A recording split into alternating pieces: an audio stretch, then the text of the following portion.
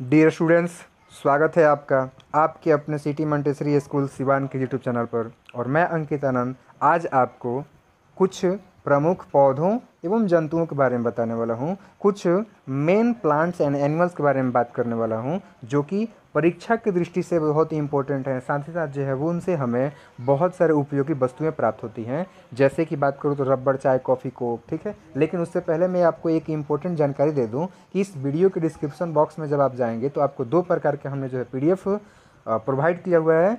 जिसमें से कि एक में आपको ये नोट्स मिल जाएगा जिसको कि मैं पढ़ा रहा हूँ और दूसरे में जो है इनसे संबंधित कुछ तस्वीरें आपको मिल जाएँगी, ठीक है? तो चलिए स्टार्ट करता हूँ। मैं बता रहा था पहला इंपॉर्टेंट वस्तु जिसका नाम है आपका रबड़ तो रबड़ जो है ना, इसको ध्यान दीजिए कि ये जो है आपका प्राप्त होता है हिबिया ब्रोसिलियंसिस नाम के जो है एक पौधे से, जो कि इसका एक साइंटिफिक नाम है और इसको आप लोग तस्वीर में देख सकते हैं। ऐसे ही दूसरा एक एक वस्तु की बात करूँ जिसका नाम है आपका चाय। तो चाय जो है एक पेय पदार्थ है जो कि आम बात है मतलब कि मैक्सिमम घरों में जो है ये उपयोग किया जाता है पेय पदार्थ के रूप में। तो ये जो है आपका कैमेलिया साइनेंसिस नाम के पौधे से प्राप्त होता है, जो कि आप तस्वीर में देख सकते हैं। ऐसे ही बात करूँ एक दूसरा तो इसका नाम है आपका कॉफ़ी तो कॉफ़ी जो है ना ये एक पेय पदार्थ है जो कि आपका कोफिया अरेबिका नाम के पौधे से प्राप्त होता है, जिसको कि आप लोग तस्वीर में देख सकते हैं। ऐसे ही बात करूँ कोक का तो कोक जो है आपका एरेथ्रोजाइलम कोका नाम के पौधे से प्राप्त होता है, जिसको कि आप लोग तस्वीर में देख सकते हैं। ऐसे ही मैं बात करूँ आगे तो आगे जो है हम लोग बात करने वाले हैं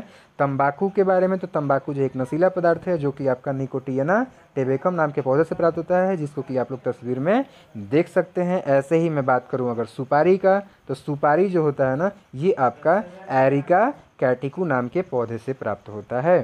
सो so, नेक्स्ट बात करता हूँ अगर तुलसी का तो तुलसी के बारे में कौन नहीं जानता है? ये जो है हमारे अधिकांश घरों में देखने को मिल जाएगा जो कि एक औषधीय गुण से भरपूर पौधा है।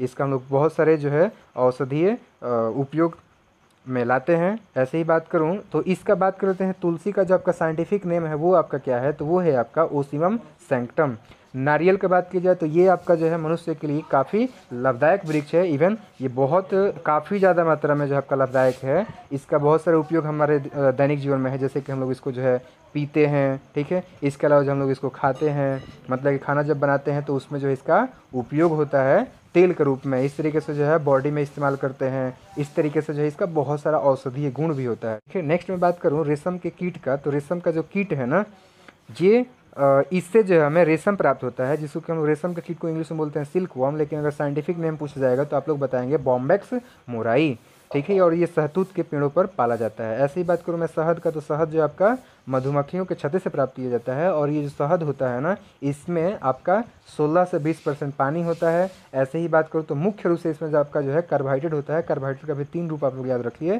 फ्रक्टोज चालीस से पैंतालीस परसेंट मिलता है ग्लूकोज जो है आपका बत्तीस से सैंतीस परसेंट मिलता है। ऐसे ही बात करो सुक्रोज तो आपका जो है बारह परसेंट पाया जाता है, और इन सब के अलावा जो है कुछ मात्रा में विटामिन प्रोटीन और मिनरल्स भी हमें शहद से प्राप्त होता है। इस तरीके से अगर बात करूँ मैं आगे लाख का तो लाख जो है आपका, लाख के किट से प्राप्त होता है, जिसका कि आपका साइंटिफिक नेम है लासीफर लैका फिर बात करते हैं हम लोग मोती का तो ध्यान दीजिए कि मोती जो है ना, ये आपका पर्ल ओएस्टर पिंटादा नाम के एक समुद्री प्राणी से प्राप्त होता है। और इन सब के अलावा जो है मैं कुछ आप लोगों को मछलियों के बारे में बता दूँ। स्वच्छ पानी में रहने वाली मछलियाँ और जो आपका समुद्री मछलियों के बारे में, जो कि हमारे लिए बहुत ही इंपॉर्टेंट होती हैं तो इसमें आपका है रोहू, माल्ही, कातला, कालबारू, मागोर, सिंघाड़ा। ये जो है आपका फ्रेश वाटर फिशेज हैं। ऐसे ही मैं बात करूँ ईल का तो ईल है, हिल्सा है, बॉम्बे डॉक है, सालमोन है, प्रॉम्फेट है, इस तरीके से साइडिना है, ये सब जो है आपका समुद्री मछलियाँ हैं। ठीक है? जो कि काफ़ी इंपॉर्टेंट हैं। आप लोग इसको भी ध्यान रखेंगे कि कौन सा जो है स्वच्छ जल में रहती है मछली और कौन सा जो है आपका समुद्री जल में रहती है। ठीक है? अब हम लोग बात करते हैं जंतुओं में पाए जाने वाले कुछ कॉमन डिज़ीज़ के बारे में, जैसे कि कुछ बात करते हैं बैक्टीरियल डिज़ीज़ के बारे में तो इसमें आपका हो जाएगा पहला एंथ्रेक्स इस तरीके से आपका टीबी यानी कि तपेदिक हो जाएगा। इस तरीके से बात करूँ तो आपका जो हो जाएगा मेस्टिटिस साल्मोनिलोसिस ठीक है? और इस, ये तो आपका तीनों हो गया बैक्टीरियल डिज़ीज़ वही से बात करेंगे हम लोग वायरल डिज़ीज़ का तो वायरल में आपका आ जाएगा पैर पकने वाला और मुँह पकने वाला रोग, जिसको पैर पका, मुँह पका रोग बोलते हैं। इस तरीके से आपका हो जाएगा रिंडर पेस्ट, इस तरीके से आपका हो जाएगा रेबिज। तो ये आपका जो है वायरल डिज़ीज़ है, ठीक है? अब नेक्स्ट मैं बात करता हूँ कुछ मुर्गियों में होने वाले रोग का। तो आप लोग ध्यान रखेंगे कि फाउल्स मुर्गियों का जो है नाम है तो इस तरीके से जहाँ पर भी फाउल आएगा तो आप लोग समझ जाएँगे कि ये मुर्गियों में होने वाला रोग है। जैसे कि एग्ज़ाम्पल में बात करूँ तो फाउल पॉक्स हो जाएगा, फाउल कोलेरा हो जाएगा, ऐसे ही जो कुछ और भी डिज़ीज़ है मुर्गियों में होने वाले, इसमें से ही आपका जो है ये हो जाएगा एस्परजिलोसिस या फिर जो है रानी खेत या फिर जो है कोराइजा हो जाएगा। एंड नेक्स्ट मैं बात करता हूँ कुछ इकोनॉमिकल इम्पोर्टेंस वाले कॉमन प्लांट्स के बारे में तो इसमें जो है आपका सबसे पहले मैं बात करता हूँ भोजन के बारे में कि भोजन जिनसे हमें प्राप्त होता है, जैसे कि गेहूँ हो गया तो गेहूँ का जो है आपका साइंटिफिक नेम होता है वेजिटेटिव नाम होता है आपका ट्रिटिकम एस्टिवम चावल का आपका होता है ओराइजा सेटाइवा मक्का का होता है जिया मेज. सोयाबीन का होता है आपका ग्लाइसिन मैक्स राई का होता है आपका सिकेल सीरेस. आम का बात करूँ, ये सब जो है अब मैं बताने वाला हूँ फल का. तो फल में चलिए बात करते हैं तो पहला आपका फलों का राजा जो है, जिसका नाम है आपका आम. तो आम का बात करूँ तो इसका हो जाएगा मैंजीफेरा इंडिका केला का बात किया जाएगा तो इसका हो जाएगा आपका मूसा, पैरा डीसी का। इस तरीके से सेव का बात किया जाएगा जो कि काफ़ी जो है आपका फ़ेमस फल है। इसका हो जाएगा आपका मेलस, प्यूमिला या फिर आप कह सकते हो पायरस मेलस। चलिए अब बात करते हैं हम लोग अंगूर का। तो अंगूर का जो है आपका हो जाएगा वाइटिस वाइनिफेरा। अमरूद का बात किया जाएगा तो आपका हो जाएगा साइडियम गुआभा सिट्रस का बात किया जाएगा तो इसका हो जाएगा आपका जो है रेटिकुलेटा। अंजीर का बात किया जाए तो इसका हो जाएगा आपका फाइकस कैरिका लीची का बात किया जाएगा तो आपका हो जाएगा लीची चाइनेंसिस और एक जो है, मुझे, मैं भूल गया था एक्चुअली तो नारियल का जो है आपका साइंटिफिक नेम क्या होता है तो मैं आपको बता दूँ, देखो, यहाँ पर जो है, यहाँ पे छोट, एक मिनट रुक जाओ, आप लोग बता रहा हूँ मैं। देखो, यहाँ पे नारियल आया था, लेकिन मैं समझाया था, लेकिन जो है आपको नारियल का साइंटिफिक नाम नहीं बताया था तो आप लोग ध्यान रखें कि नारियल का जो आपको साइंटिफिक नाम होता है ना, वो होता है आपका कोकस न्यूसीफेरा, ठीक है? तो ये ध्यान रखेंगे।